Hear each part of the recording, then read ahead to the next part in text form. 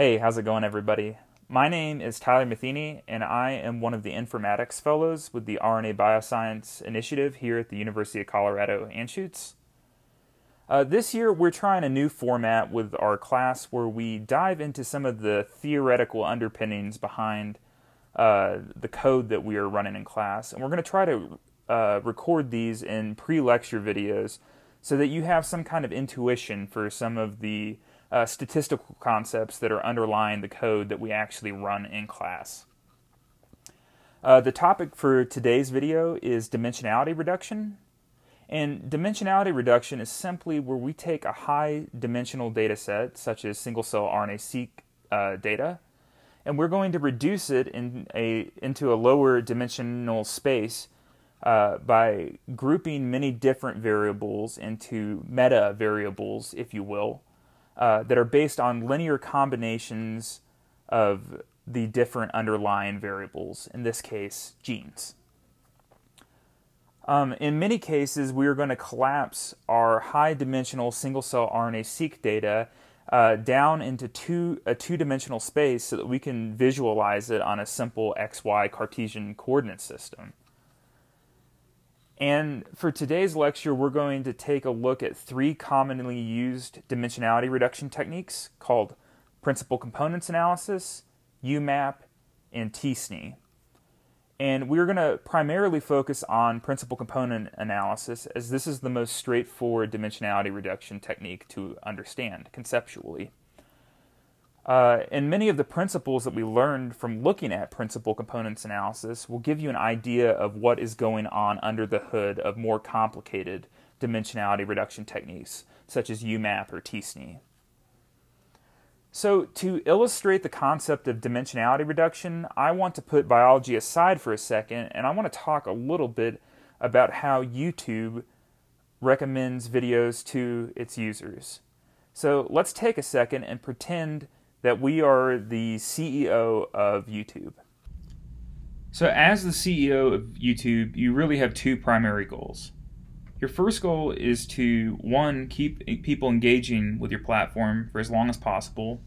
And secondly, you want to monetize this engagement by selling advertising space on your website. In order to keep people engaging with your website, you want to recommend videos that are tailored to each user and in order to make money, you want to send this user advertisements that they are likely to be interested in. YouTube achieves these goals by collecting data on how you interface with their platform. Every time that you click a video on YouTube, YouTube is recording all kinds of data on which video that you watched, how long you watched the video, whether or not you paused the video, if you rewatched the video, and if you liked or disliked the video. So just to demonstrate this, I pulled some of the analytics from a previous uh, video that I posted on YouTube. So here you can see the total uh, watch time uh, on this video, as well as the average uh, view duration. You get data like the number of likes versus the number of dislikes. And you also can get uh, uh, traces of how long viewers interface with the video. Since YouTube collects all of this data on viewer preferences, they need a way to analyze this data in order to make video recommendations. Therefore, they utilize a branch of artificial intelligence called machine learning. Machine learning involves the use of specialized algorithms to classify data using a variety of different approaches. And there are really two main classes of machine learning algorithms supervised learning and unsupervised learning. Supervised machine learning involves the use of training data in which there is a ground truth label for the data. For example, if I went to work for a bank, I might want to train a machine learning model that would be able to distinguish between customers who are in good standing with their loan or if they were in default. Good standing and default would be the two labels I would use to classify customers, and it would be supervised because I would already have labeled these data prior to building the model.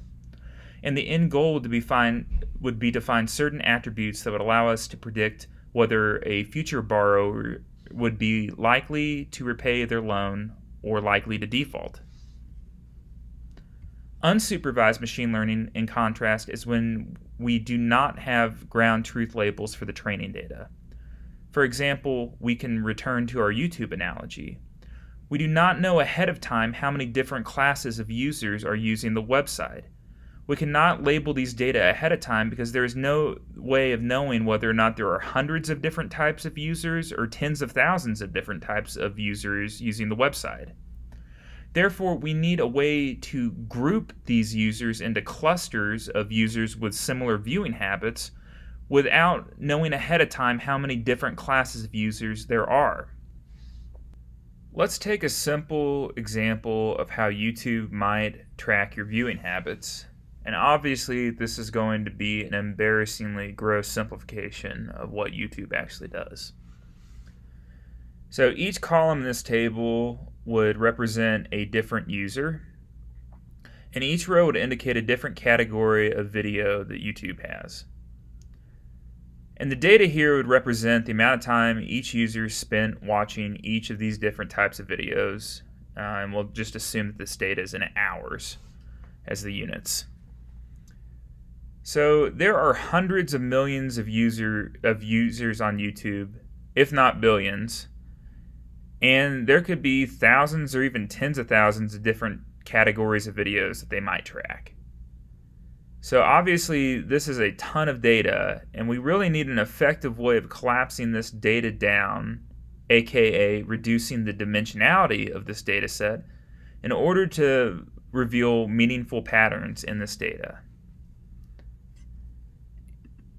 Our end goal would be to end up with a map that might look something like this. And obviously, this would be a subset of the total map because this is obviously not as many users as would be on YouTube. From this map, data points that would be close together in space would represent users that have similar viewing habits, while data points that are far apart in space would represent users that had different viewing habits. Once we had a map like this, then we could try to cluster the data into distinct groups of users as depicted by the different uh, coloring of these data points or users. And then finally, we could examine which uh, clusters of users liked which types of videos. So for example, these users might like comedy videos and these users might like videos about the news. Since we moved from a data frame that had many different users and many different categories of videos and the watch duration for these videos, and we moved from this into a graph that looks like this, then these axes actually represent combinations of many underlying variables. But how do we get these combinations of these many underlying variables? Well, this brings us to the topic of dimensionality reduction. And as I stated before, there are really three main types of dimensionality reduction techniques that we commonly use in single cell RNA-seq analysis. These are PCA, UMAP, and t-SNE. And right now I want to focus on principal components analysis as this is the easiest to understand. Now, a lot of people make a big fuss whenever they first learn PCA, but as I will show you in the next few slides, this process is not that complicated. So let's go ahead and take a look at the theory and mathematics that underlie principal component analysis. First, let's just consider a small data set of six different YouTube viewers and the fraction of time that they spend watching political videos and coronavirus uh, videos. We can plot this data out on a graph. Here, the x-axis represents the fraction of time that viewers spend watching political view videos, and the y-axis represents the fraction of time that viewers spend watching videos about coronavirus. So just by looking at the data, you can see that the two variables seem to be correlated in some way. Users who tend to watch a lot of political videos also tend to watch a lot of videos on coronavirus, while users who spent less time watching political videos also spent less time watching coronavirus videos.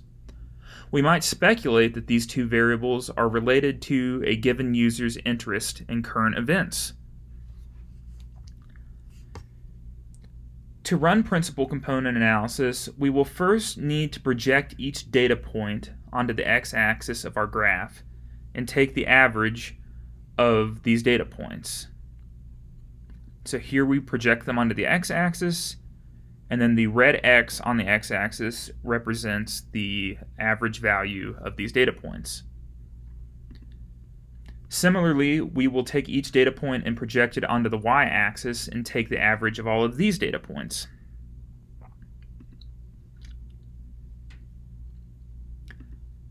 Now we will take the average x and y coordinate and plot this on our original graph. This point will serve as the center of our data. Now that we have calculated the center of our data, we're going to go ahead and abandon our original x and y axes and draw a new x and y axis, while still maintaining the relative position of all of our data points to the center. And now we're going to go ahead and shift our data until that center point lies at the origin of our axis. Finally, we are going to plot a line of best fit for this data.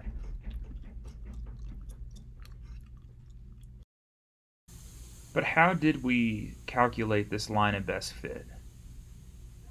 Well, to find the line of best fit, we can either try to minimize the length of these blue dashed lines, which represent the distance between each data point and its projected point on the line of best fit, or we can maximize the distance of these green lines shown here, which would be the distance between the projected uh, data point and the origin. This method is called sum of squares because we square each of the distances and the reason that we square the distances is because that we will have positive distances and negative distances, and we don't want these values to cancel each other out, so we square them.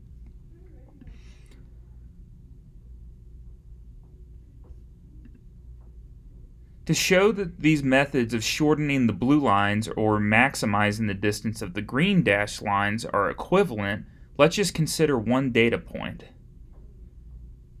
As the line of best fit gets better and better, the blue line will get shorter and the green line will get longer.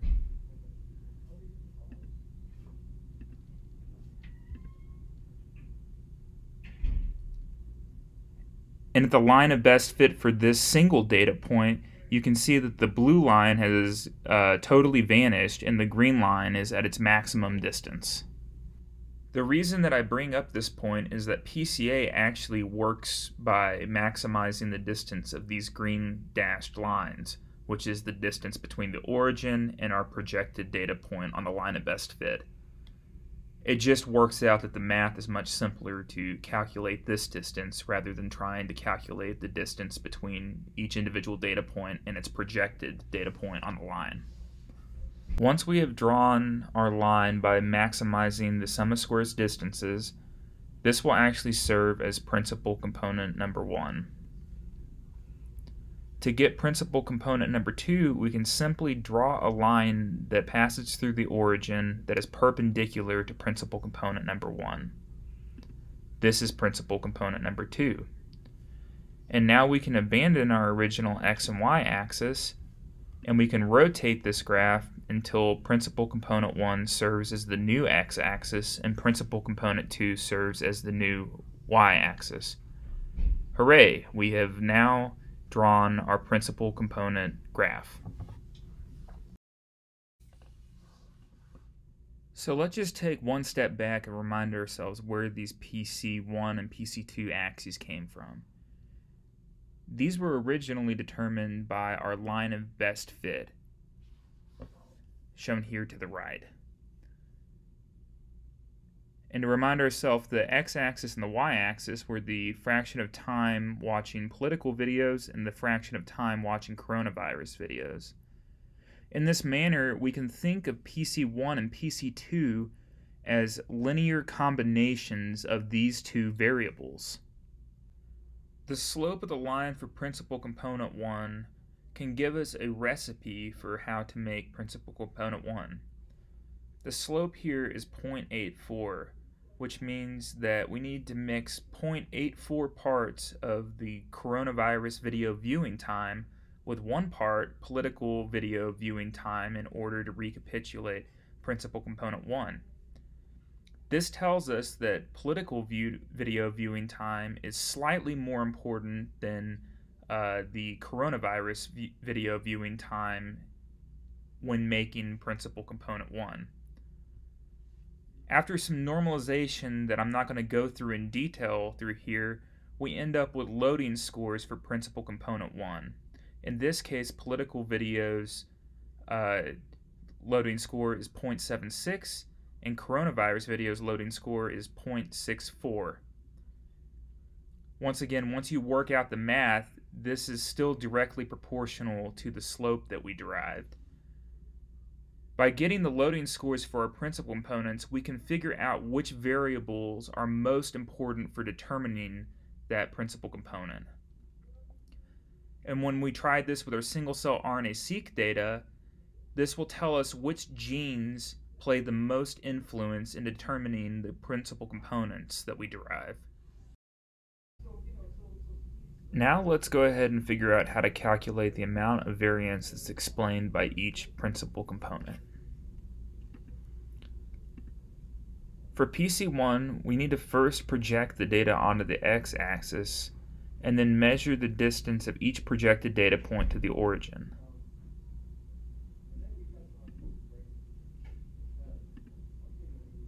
So for example, for this data point, we're going to project it onto the x-axis, and then we're going to measure the distance to the origin.